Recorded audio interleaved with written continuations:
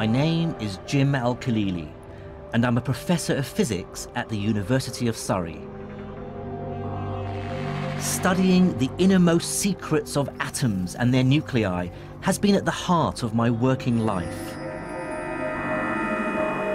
But there's another side to me.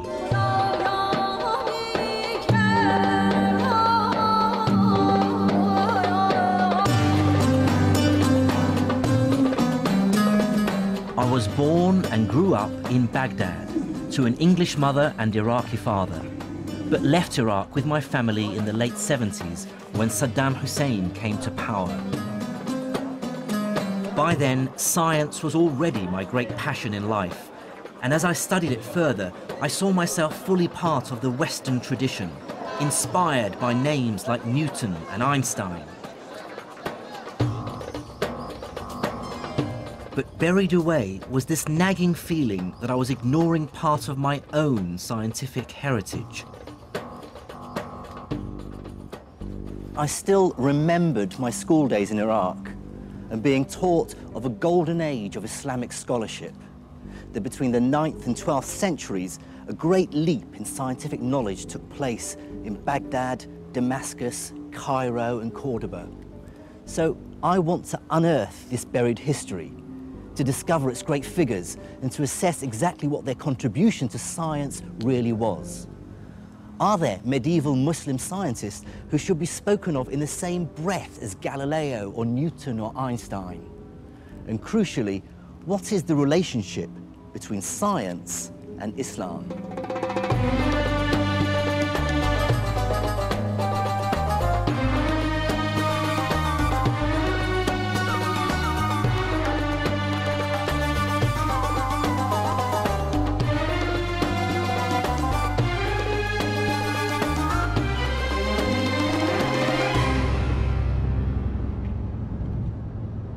My journey into the science of the medieval Islamic world will take me through Syria, Iran, and North Africa.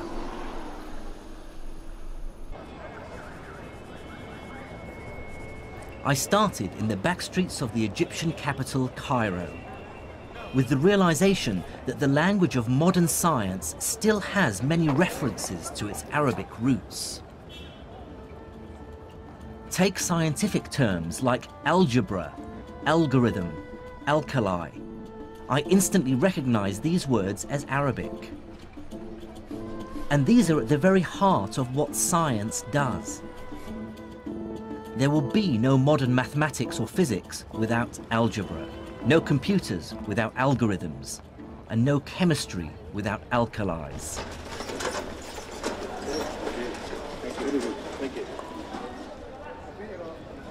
Surprisingly few people in the West today, even scientists, are aware of this medieval Islamic legacy. But it wasn't always so. From the 12th to the 17th century, European scholars regularly refer to earlier Islamic texts. I have here copies of some pages uh, of the book Liber Abaci by the great Italian mathematician Leonardo Pisano otherwise known as Fibonacci. What's fascinating is that on page 406 is a reference to an older text called Modum Algebra et al Muqabala, and in the margin is the name Mahomet, which is the Latinized version of the Arabic name Muhammad. The person he's referring to is Muhammad ibn Musa al-Khwarizmi. In fact, Arabic names crop up in many medieval European texts on subjects as varied as mapmaking, optics, and medicine. But I want to start with Al-Khwarizmi because his work touches on a crucial aspect of all our lives today. It's thanks to Al-Khwarizmi that the European world realized that their way of doing arithmetic, which was still essentially based on Roman numerals, was hopelessly inefficient and downright clunky. If I ask you to multiply 123 by 11, you may even be able to do it in your head. The answer is 1,353. but try doing it with Roman numerals. You'd have to multiply CXXIII by XI. It can be done, but trust me, it's not fun. Al-Khwarizmi showed Europeans that there's a better way of doing arithmetic. In his book entitled The Hindu Art of Reckoning, he describes a revolutionary idea. You can represent any number you like with just 10 simple symbols.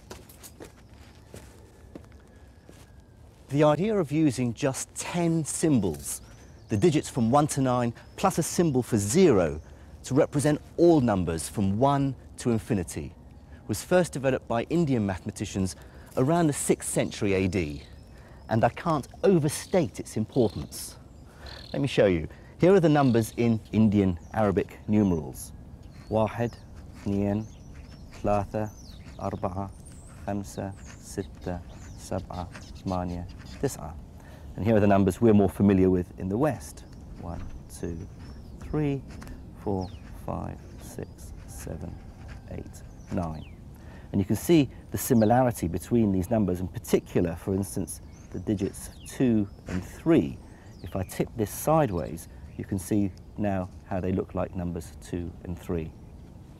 And what's powerful about these digits, this numerical system, is how it simplified arithmetic calculations. But Al-Khwarizmi and his colleagues went further than just translating the Indian system into Arabic. They created the decimal point. This text, written a century after Khwarizmi, is by a man we know only as Al-Uqlidasi. Uh, here he shows that this same decimal system can be extended to describe not just whole numbers, but fractions as well. The infinity of possibilities that lie in between the integers. Here's a copy of Al-Uqlidasi's manuscript where he showed how the decimal point is used for the very first time. He describes it by using a dash. Here are the digits 1, 7, 9, 6, 8, and you can see there's a small dash over the 9 indicating the decimal place the idea of the decimal point is so familiar to us that it's hard to understand how people managed without it. But like all great science, it's blindingly obvious after it's been discovered.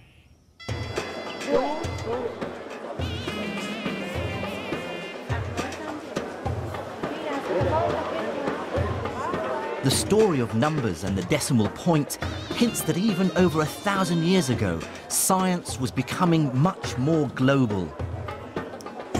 Ideas were spreading, emerging out of India, Greece, even China, and cross-fertilizing.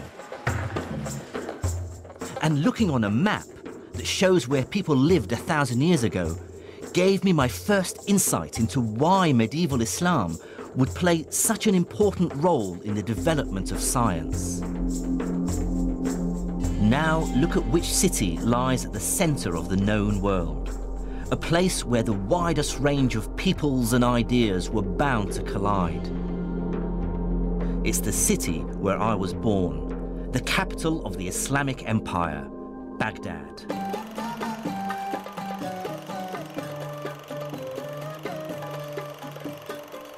Recent events mean I can no longer visit the city. But these are the home movies of my cousin Faris, filmed in the 1960s. The Baghdad we knew then looked nothing like the bomb-wrecked city it is now. I certainly grew up proud to be associated with one of the world's greatest cities. Baghdad was founded in 762 AD by the Caliph El-Mansur, his aim was to make it the glorious capital of a brand new empire, united by Islam, the rising religion of the time. The Abbasid caliphs had claimed their right to rule by declaring that they were directly related to the Prophet Muhammad, who had founded the new religion over a hundred years earlier. But in that short time, the armies of Islam had conquered a vast territory. Starting in a small area around Medina, they moved rapidly out of the Arabian Peninsula, and within a few decades had taken control of the Levant, North Africa, Spain, and Persia. I think one must bear in mind that this is an era in which people actually believed in God, and the dramatic successes of the Arabs as they poured out of Arabia uh, was such that a lot of people did sort of observe and say they must have God on their side, this must be the true God. And some people did convert, or if they didn't convert, they did submit to Arab Muslim political control for that reason. By the early 8th century, Islamic caliphs ruled a vast territory.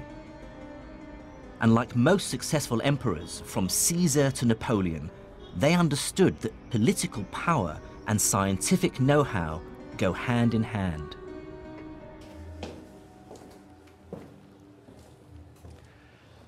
There were many reasons for this. Some were practical.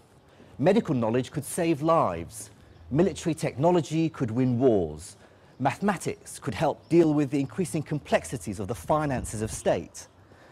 And Islam as a religion also played a pivotal role.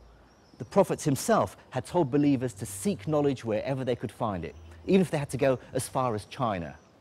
And many Muslims, I'm sure, felt that to study and better understand God's creation was in itself a religious duty. But there were also other less edifying motives at play.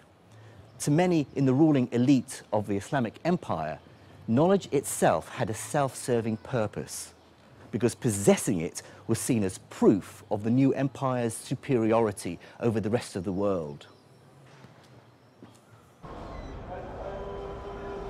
But with military and political success, the Islamic caliphs faced an inevitable problem. How do you sensibly govern a hugely diverse population? Although some of the empire had converted to Islam, they were still separated by huge distances and adhered to many different traditions and languages. In the 8th century AD, the empire's leader, the Caliph Abdul Malik, had to find a way of administering this mishmash of languages. Like all the great figures of the Islamic Empire, Abdul Malik lived in a culture without portraiture. All we have are later impressions of what he might have looked like. His solution was sweeping in scale and inadvertently laid the foundations of a scientific renaissance. It was this Abdul Malik ibn Marwan who said, this bureaucratic chaos has to stop. We cannot continue to run a government and govern all of this span of land with this uh, uh, Tower of Babel languages. So he wanted to govern it with a uniform language. That uniform language, of course, he wanted to be able to understand it, so he demanded that it be in Arabic.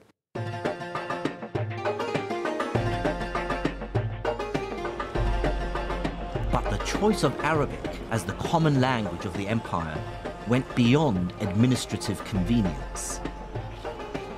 The decision had extra force and persuasiveness because Islam's holy book, the Quran, is in Arabic, and Muslims therefore consider Arabic to be the language of God.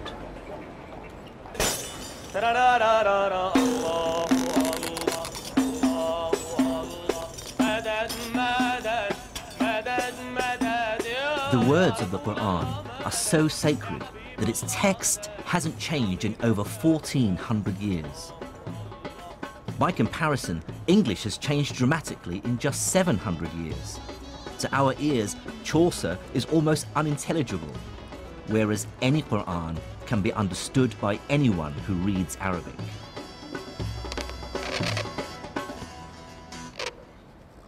Making copies of the Quran has always been a specialized and highly respected job since the foundation of Islam. Calligraphy expert Naif Scarf, who lives in the Syrian capital Damascus, writes for mosques and in madrasas all over the country. These are words he's found himself writing over and over again, words of great significance for Muslims. They're the opening line to each chapter in the Quran. So it, what it says is Bism Illah Ar-Rahman Ar-Rahim. which means in the name of God, the most gracious and the most merciful. بده يشكل مظبوط الفاعل المفعول وكذا صح، صح، صح. ليكون الكتابة صح ولا تفهم المعنى بشكل صحيح So you're saying the complexity of Arabic calligraphy was en- enforced on them because of the spread of Islam, because they were worried th- the meaning of the words in the Quran would be lost uh, if it was read by people who don't speak Arabic. Then they wouldn't, not only would they misinterpret it, they just wouldn't be able to distinguish between different letters. So not only did they add dots on certain letters, they also added other little squiggly lines which changed the sound of vowels. And it was something that they put in place just to ensure that people were able to have the right pronunciation when they read the Quran. The consequences for science were immediate. Scholars from different lands who previously had no way of communicating now had a common language. And it was a language that was specially developed to be precise and unambiguous, which made it ideal for scientific and technical terms. What this meant was the summoning into existence of a vast intellectual community where scholars from very different parts of the world could engage in dialogue, comparison, debate, argument, often very fierce argument, with each other. It was possible for scholars based in Cordoba in southern Spain to engage in literary and scientific debate with scholars from Baghdad or from uh, Samarkand.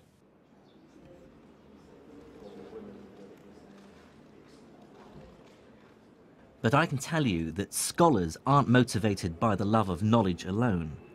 There's nothing like a large hunk of cash to focus the mind. By the early 800s, the ruling elite of the Islamic Empire were pouring money into a truly ambitious project, which was global in scale and which was to have a profound impact on science.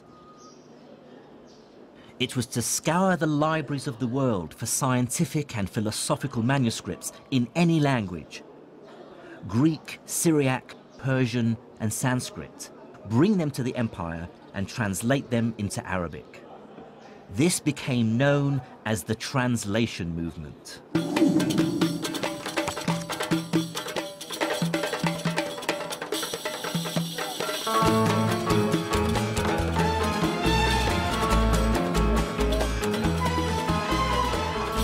Effort scholars put into finding ancient texts was astonishing.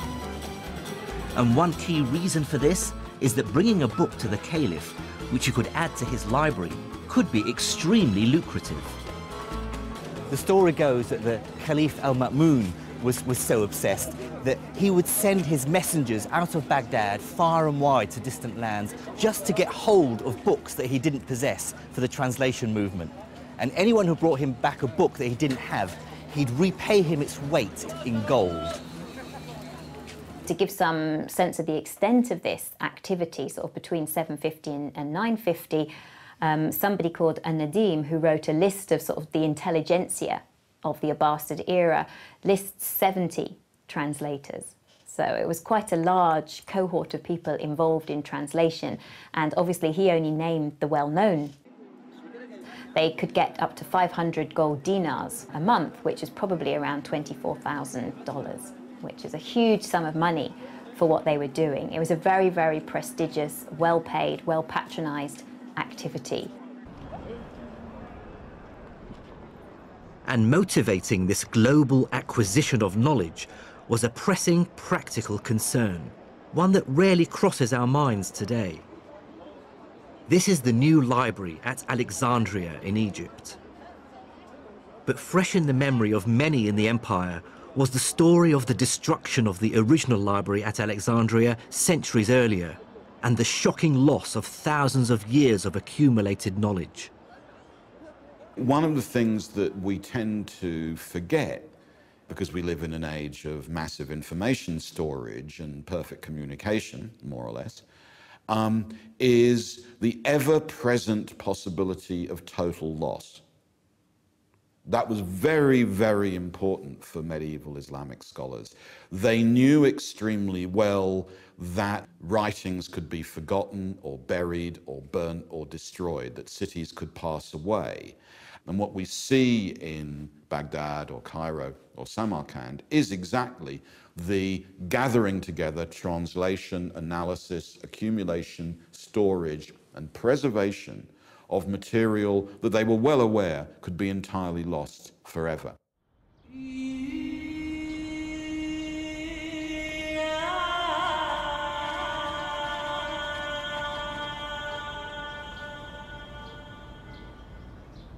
And if there was one branch of knowledge that everyone, from the mighty caliph to the humble trader, wanted to preserve and enhance, it was medicine.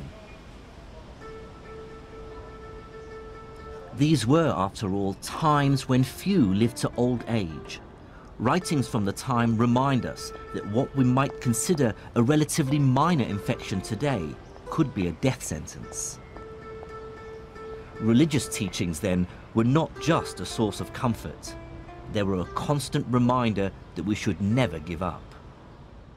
In the Hadith, which is the collected sayings of the Prophet Muhammad, it says, Ma anzala Allahu da'an illa wa lahu dawa'an, which means that God did not send down a disease without also sending down its cure. It's statements like this that lead Muslims, even today, to believe that cures for all diseases are out there somewhere and that we need to search to find them. To assess how this optimism actually affected Islamic medicine, I met up with Dr. Peter Pormann in the Syrian capital Damascus. He's a leading expert on Islamic medicine who spends much of his time researching here in the Middle East. What people don't realize is that uh, the history of Islamic medicine is really the history of our medicine because our medicine, the university medicine we used until the 19th century, it was based uh, to a large extent on all these work of these Islamic physicians. Islamic medicine built extensively on the foundations laid by the ancient Greeks. The most highly prized and among the first to be translated into Arabic were the medical manuscripts of the 3rd century Greek physician Galen. Galen believed that a healthy body was one in balance, a balance of four types of fluids called humours, which circulate through the body, and any one of which, if out of balance, would cause illness and a change of temperament. The four humours were yellow bile, which, if in excess, would cause the patient to become bilious or bad tempered and nauseous. Blood, too much of which would cause the patient to become sanguine or cheerful and flushed. Black bile, which in excess would cause the patient to become lethargic, melancholic, even depressed. And phlegm, which in excess would cause the patient to become phlegmatic or apathetic and emotionally detached. Galen argued that illnesses are caused by an imbalance in one of the humours, and so the cure lies in draining the body of some of that humour. And so he recommended techniques like cutting to induce bleeding or using emetics to induce vomiting. But Islamic doctors were acutely aware that Galen and Greek medicine were only one source of medical knowledge. There were other traditions of medicine that they were equally keen to incorporate into their understanding of how the body functioned. Medieval Arabic texts refer to wise women, folk healers who provided medical drugs. This tradition continues today, as I found when I came across one for myself in the back streets of Hammamet in Tunisia. This is Arafat Nabil. She's been running her shop selling medicinal herbs and spices for over 20 years. She believes that her remedies can cure a wide range of medical ailments. نعم. اسمها شيح. تنحى الدود من البطن وتنحي جميع الأوجاع وال- الداخلية. بعد من الزرنيخ ينحي الثعلبة وبعشبة هذه اللي تراها أنت تويكا تنحي أنت البرص. آه أوكي. مثال هذوما مثلا كما هذه وهذه للصرع والجنون. صرع يحطها ويحط شوية في المخده نتاعو ما عادش بك اللي يشدوك الكريز هذاك. وفي يعني مثلا من ال- العصر اليوناني اقدم منها ما تستعمل ولا لو أه، والله اجي نقول لك كل ما هو قديم في الاعشاب انا نتبعه فهمتني باش نزيد معلومات In the back streets of Tunisia, this knowledge is still being used. But medieval Islamic doctors were also aware of other traditions of medicine from China and India.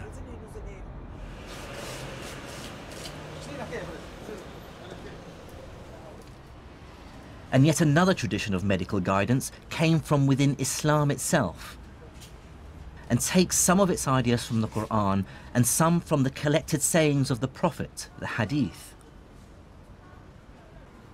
In a bookshop in Monastir in Tunisia, I found a copy of a very popular book, available right across the Islamic world. This book is called The Prophet's Medicine And uh, it, see how old it is. The author was born between 691 and 751 Hijri, which places him in the 14th century. Here's an interesting bit uh, where it deals with the plague. فإذا سمعتم به بأرض فلا تدخلوا عليه وإذا وقع بأرض وأنتم بها فلا تخرجوا منها فرارا منه. It says, if you come across a land where the plague has come down, then do not enter that land. And if the plague comes down onto your land and you're, you're there, then do not leave your homes in the hope of escaping it. So it sort of makes a lot of sense. But here's quite an amusing part. Um, it deals with epilepsy. Uh, and it says that uh, the Greeks, or, or Galen, believed that epilepsy originated in the brain. So, however, they were ignorant. They didn't realize the true cause of epilepsy, which is the, the possession of the body by evil spirits. And it talks about the cure for epilepsy being exorcism. Hardly scientific. But Islam's most tangible contribution to medicine is less in its specific remedies and more in its overarching philosophy.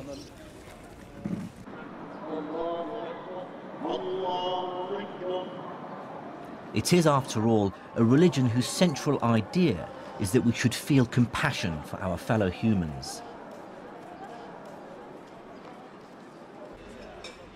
And accompanied by Dr. Peter Pormann, I'm going to see a physical bricks and mortar manifestation of medieval Islamic compassion.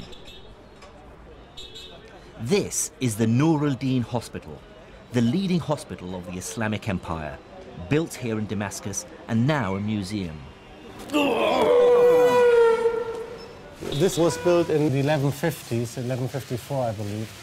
One of the ideas which are stipulated in, uh, in Islam is the idea to be charitable. And Yes, charity. zakah, yes. Exactly, and it's an obligation to, to give alms uh, and stuff like that. Yeah. And so, if you're a ruler or if you have a lot of money, what you could do is obviously. You could be really like be charitable. Charitable and set up like a nice hospital like this one.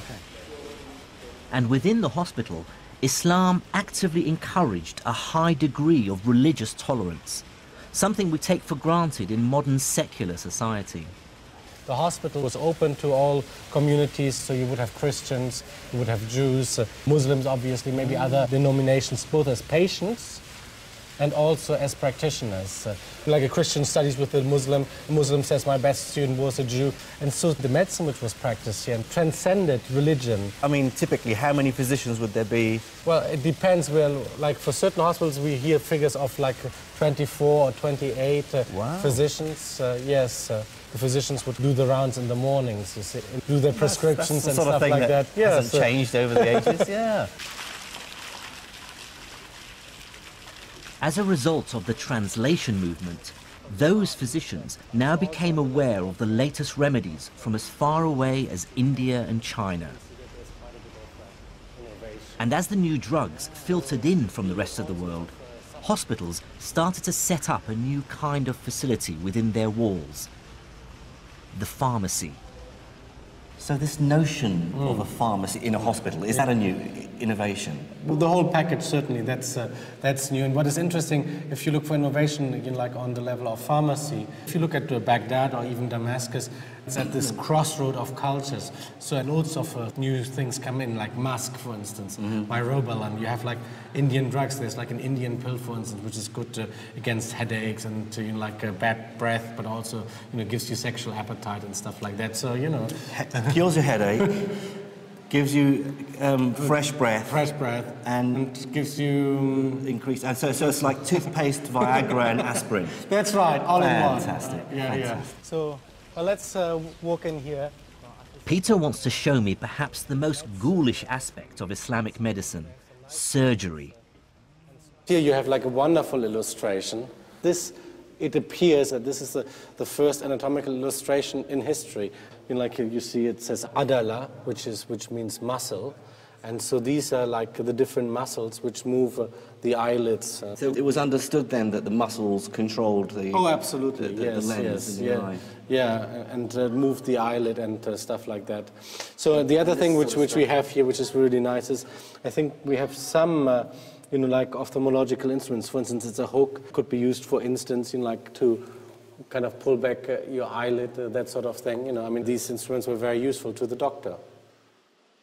Although these tools might look crude, eye surgery was one of Islamic medicine's great successes. One innovation was to improve an older technique for curing cataracts called couching, which in their hands had a success rate of over 60%. In a living subject, the cornea would be clear and you'd be able to see the pupil clearly with the cataract sitting behind the pupil, the, the wide opacity. To see how So it's a little bit more couching difficult stands the test of uh, time, I'm meeting up with eye surgeon Mr. Vic Sharma. Right. A cataract is the, um, the lens inside the eye, which sits behind the pupil. Um, a- As with time, with age, the cataract, the lens gets cloudier and cloudier, and that's what is referred to as a cataract. Um, I've brought along a removal of the replica of a medieval couching knife and a description of the treatment by Albucasis, which is the Latin name for the great 10th century Islamic surgeon Al Zahrawi. Uh, he says you take the couching needle in your right hand if it be the left eye and so on, and then Yep. thrust the needle firmly in at the same time rotating it with your hand until it penetrates the white of the eye and you feel the needle has reached something empty. Uh, so he's talking about how to dislodge. Exactly. So I mean, maybe you can show me. We've got Well, some eyes here. Yep, yep, and, and I'll certainly give it a shot. And what they would have done would have attempted to go in just by the white of the eye, just at the edge where the cornea is. And then what they are attempting to do is to sweep around, trying to break all those ligaments Right. of that lens and trying to get the lens to drop away from the pupil to allow more light to enter in through the pupil and to brighten the subject's vision. but of course you haven't got the capacity to focus. Oh yeah, you haven't got a lens now, so that was a big problem until Right. people started uh, compensating that with specs later on. Right, right. What is your feeling about how advanced and successful? Well, they were on the, you know, the, the general ballpark. They, they were at the right place. You know, they were Yeah. they were trying to remove the cataract away from the visual axis. They understood the anatomy of the exactly. eye. They had some understanding of the anatomy of the eye, and you know that the lens was behind the pupil, and that's what was causing the um, visual loss. And so removing that, um, you know, and that general principle is still the same. Right. And you know, uh, there are still accounts of it being used in certain parts of the world presently.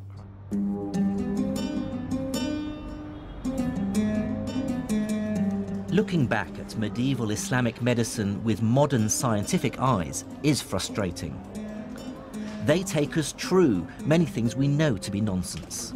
But on the other hand, their desire to deal with this vast subject logically and systematically is admirable and truly marks a break with the past.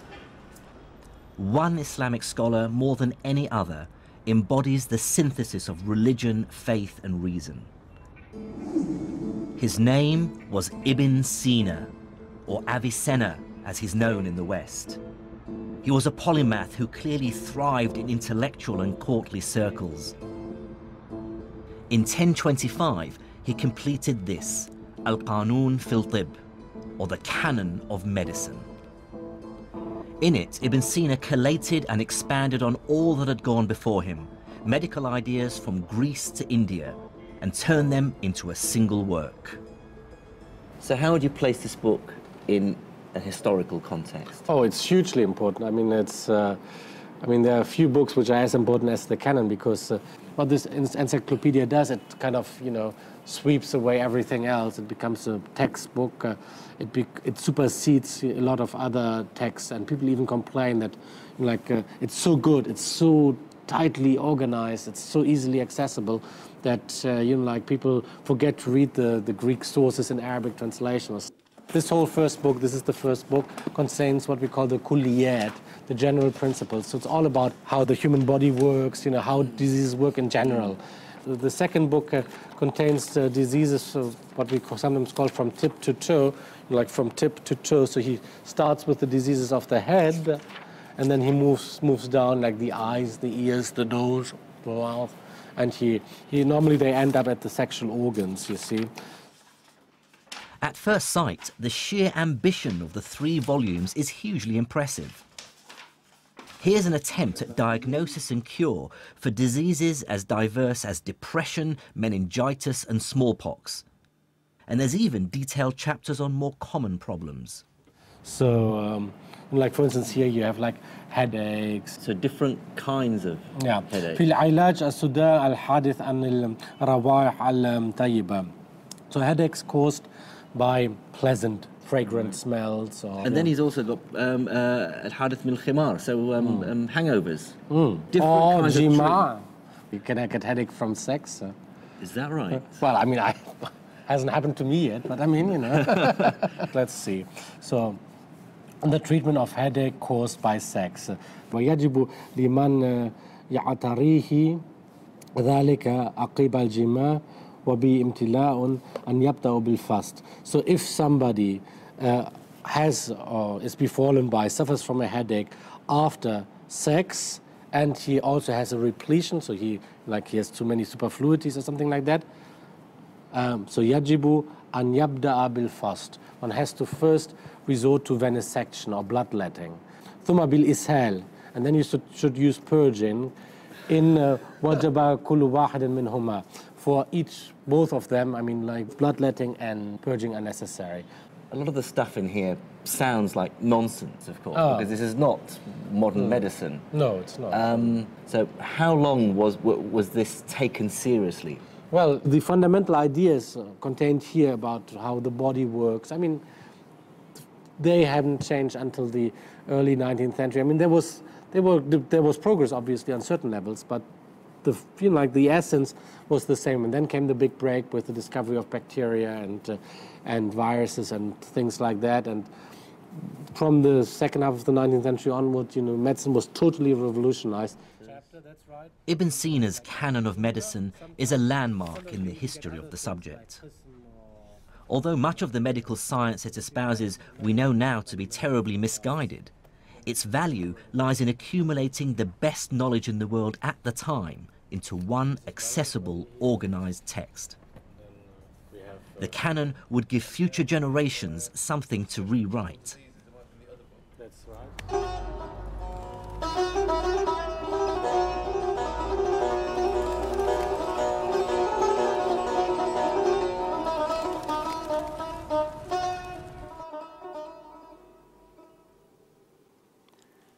Cataloguing the world's medical knowledge has clear and obvious benefits. But the Islamic Empire's obsession to uncover the knowledge of the ancients went beyond practical matters like medicine. Many, like the Caliph al Ma'mun, believed that the people of antiquity possessed dark, even magical powers. And what's more, new evidence is coming to light to show just how hard Islamic scientists worked to rediscover them. بیدلی در همه احوال خدا با To find out about that story, I have to visit the harsh, burnt yellow of the Sahara Desert in Egypt. There, I am to meet an academic who wants to show me how the translation movement took the Arabs to Egypt on a quest to break a code, which they thought hid the secret of the dark art of alchemy.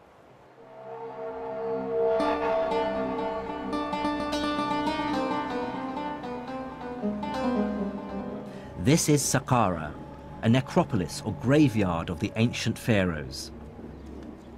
Over a 10 acre site, it's a collection of burial chambers and step pyramids that were built in the third millennium before Christ.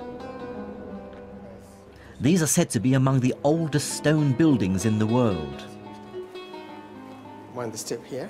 Archaeologist Dr. Okasha Eldali is my guide.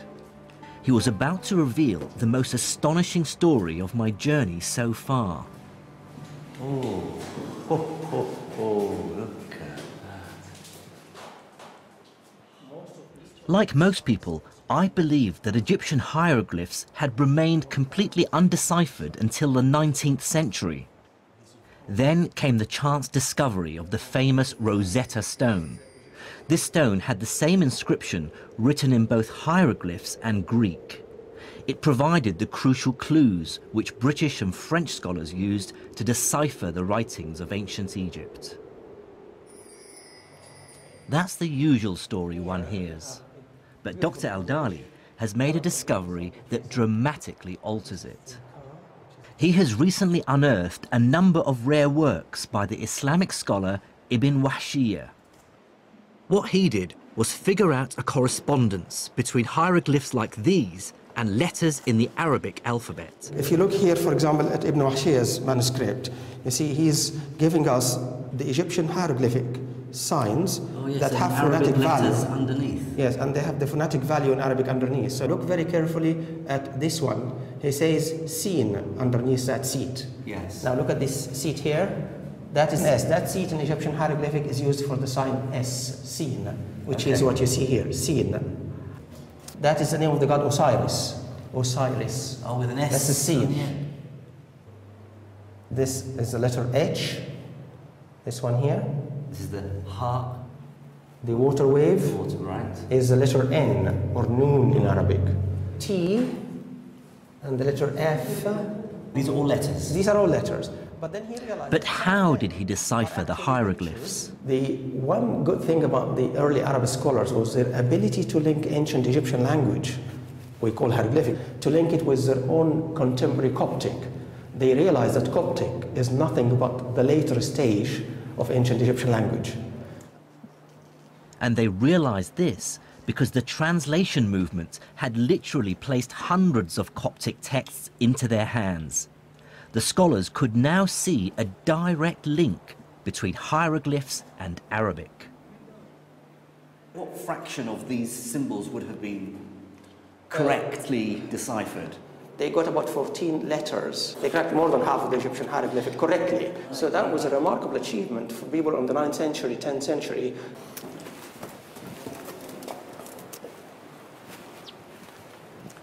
Well, that's probably the biggest revelation for me so far on, on my travels that uh, Egyptology didn't begin in the 19th century. Yet again, it seems that Islamic scholars actually cracked hieroglyphics and they cracked it for, for strange reasons. They cracked it because they were interested in, in astrology and, and alchemy. But here is another example of this amazing translation movement. They weren't just translating Greek and, and, and Indian and Persian texts, they were translating Egyptian hieroglyphics as well. Absolutely incredible. Unfortunately for the Caliph El Ma'mun, the hieroglyphs contained no alchemical secrets. But what this story reveals to me is the insatiable curiosity Islamic scholars had about the world. They were desperate to absorb knowledge from all cultures purely on merit, with no qualms about the places or religions from which it came. Most intellectual traditions, including, if I may say so, our own, tend to work very hard to keep everybody else out. Whereas here we have an example of an enterprise which is desperate, curious to turn itself into a net importer of intellectual product. And that's a very important lesson for the history of the sciences. I was soon to see just how dramatically this fueled scientific innovation. But it's worth remembering that the translation movement wasn't just about science and medicine. As the capital Baghdad sat in the center of a vast, successful empire, it became home to an extraordinary flourishing of all kinds of culture.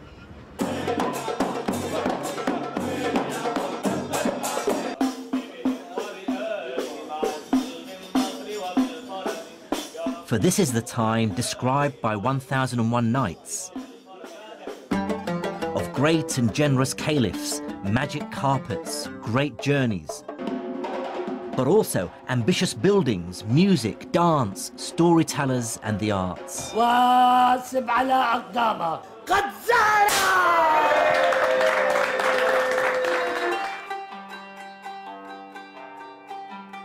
Baghdad was such a cultured and vibrant city that one traveller of the time wrote, There is none more learned than their scholars, more cogent than their theologians, more poetic than their poets, or more reckless than their rakes.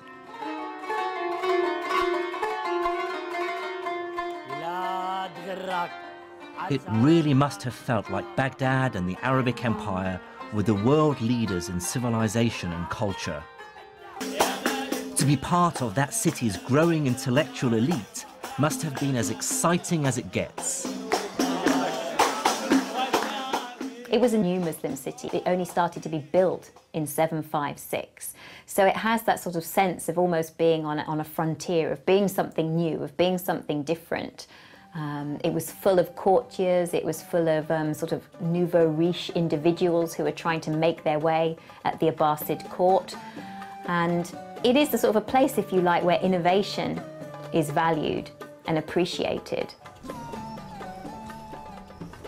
At the heart of the city's intellectual life was a system called the Mejlis.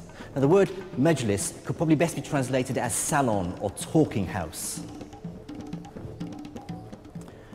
In 9th century Baghdad, what this meant was that the city's elite, the caliph, his courtiers, generals, and the aristocracy, would hold regular meetings, you might call them seminars or discussions, during which the city's cleverest men, the philosophers, theologians, astronomers, and logicians, would gather to discuss and debate their ideas. It was not the case that people were expected to adhere to a particular line or adopt a particular religion. They were allowed to express their own sentiments and their own views very freely. The point was that they should do so in elegant Arabic and a good logical reasoning. The effect of the Mejlis was to create a heady mix of money and brains, with the best minds in the empire swapping ideas while simultaneously engaged in fierce competition for patronage. It's at this point my investigation into the first wave of Islamic science returns me to the man we first met at the beginning of this story in the back streets of Cairo, the great mathematician who brought the West the decimal system. Out of the very heart of this intellectual whirlwind came Al-Khwarizmi, mathematician, astronomer, courtier, and favorite of the Caliph al-Ma'mun. He was a product of his age, an emigre from eastern Persia into Baghdad, surrounded by books, well versed in learning from Greece, Persia, India, and China, and fearless in his thinking. Al-Khwarizmi brought together two very different mathematical traditions and synthesized them into something new. The capacity to have on your desk simultaneously two very different kinds of mathematics presses on models of what counts as calculation, what counts as measurement, and I think accelerates the, the process of intellectual change. The first of these traditions came from the Greek-speaking world. Greek mathematics dealt mainly with geometry, the science of shapes like triangles, circles and polygons, and how to calculate area and volume. The other great mathematical tradition Al-Khwarizmi inherited came from India. They'd invented the 10 symbol decimal system, which made calculating much simpler. Thanks to the translation movement, Al Khwarizmi was in the astonishingly lucky position of having access to both Greek and Indian mathematical traditions. He was able to combine geometrical intuition with arithmetic precision, Greek pictures and Indian symbols, inspiring a new form of mathematical thinking that today we call algebra. As a physicist, I've spent much of my life doing algebra, and I can't overstate its importance in science. But it is a strange idea. I remember being perplexed when my math teacher first started talking about mathematics not using numbers, but with symbols like X and Y. It's an incredibly liberating idea because it allows you to solve problems without getting bogged down in messy numerical calculations. So we have here this priceless manuscript, Kitab al-Khwarizmi, al-Khwarizmi's book, and Professor Ian Stewart has studied algebra for much of his working life. Together, we looked at an early copy of the book in which the idea really took form. I see here, although it's written sort of in the margin, the title of the book, uh, Al Jabr wal Muqabala. So that's the first time the word Al Jabr appears. Algebra. Algebra, that's where the, our word algebra comes from. Now, what I found very early on is that he said, I, I, I discovered that people require three kinds of numbers. Um, Judur wa amwal wa adad. So roots, squares, and numbers. So what is he trying to do here? This is what we would now call x and x squared. This is quadratic equations. This really is algebra. So he's setting you up for a book about how to solve equations by algebraic methods.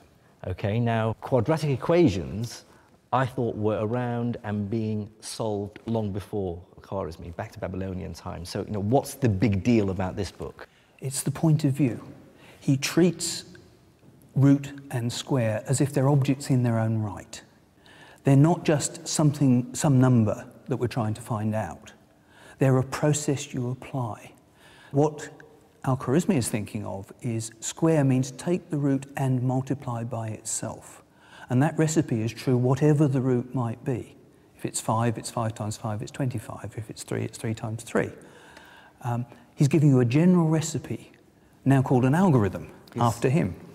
The, the, right, the, the algorithm comes from. It comes from, Al- it's another word that comes from Al-Khwarizmi, yes. Now, he talks about this procedure here on the next page. Um, you know, you take the number multiplying the root, and then you halve it, and then you multiply it by itself. Then you add, add it to the other number and take the square root. That's, that's the algorithm, is it? That's right, and this is where you see the difference because previous writers on the subject would have said things like take half of 10, which is 5, square that, which is 25, and then they do another problem take half of 12, which is 6, square that, which is 36, and they'd run you through this same process over and over again with different numbers, and it would be up to you to infer how to do it on the next problem. But he doesn't do that. He doesn't do that. He says, take half the root. Whatever the root is, take half the root. So half the root is actually an object. If the root is an object, half the root is an object. So you don't have to have in your mind what that root stands no, for. You, you can forget about what it stands for. When you come to square it, you just know, okay, I should square this thing. I don't care what the thing is. So you abandon temporarily this link with specific numbers, manipulate the new objects according to the rules that his book is explaining, and then the numbers that these objects represent in your particular problem will miraculously appear at the end, and you'll end up with x equals 3, or whatever it So, is. so how revolutionary do you regard Al-Khwarizmi's work? he made it possible for algebra to exist as a subject in its own right rather than as a technique for finding numbers. The least interesting bit of an algebraic calculation is when you get to the end and discover that x equals 3. It's the route you take to get there. But if it was a special route for each problem and a different route for each problem, that wouldn't be interesting either. It would just be a big mess. There's this beautiful general series of principles. And if you understand those, then you really understand algebra.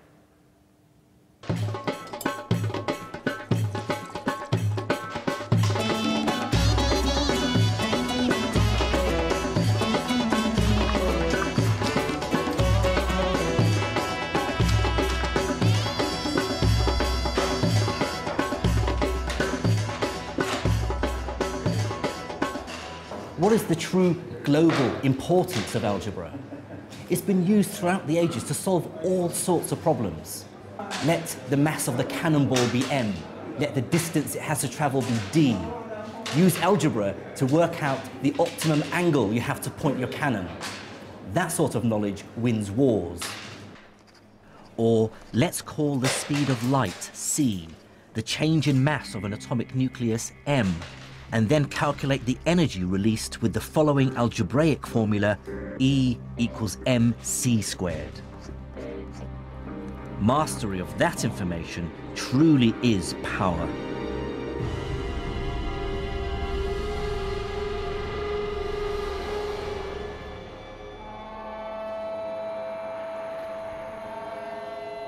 Algebra has helped create the modern world. Our science is unimaginable without it. It sums up so much that was remarkable about medieval Islamic science, taking ideas from Greece and India, combining and enhancing them. Similarly, modern medicine owes a considerable debt to the work of the Islamic physicians. But I think the real story of what happened to science in the Islamic world in the 8th and 9th centuries tells us more than any single discovery. What it really tells us is about the universal truth of science itself. I believe that the first great achievement of the medieval Islamic scientists was to prove that science isn't Islamic, or Hindu, or Hellenistic, or Jewish, Buddhist, or Christian. It cannot be claimed by any one culture. Before Islam, science was spread across the world. But the scholars of medieval Islam pieced together this giant scientific jigsaw by absorbing knowledge that had originated from far beyond their own empire's borders. This great synthesis produced not just new science, but showed for the first time that science as an enterprise transcends political borders and religious affiliations. It's a body of knowledge that benefits all humans. Now that's an idea that's as relevant and as inspiring as ever.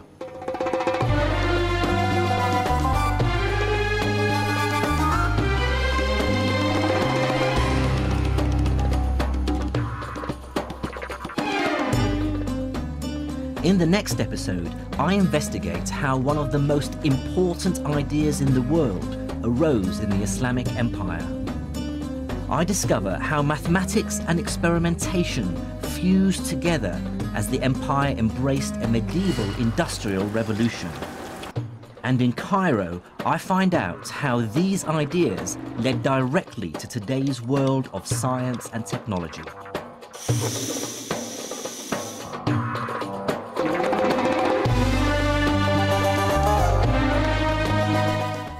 Science and Islam continues next Monday night at 11.25. Tonight we're heading for Broadcasting House and a day out with U2.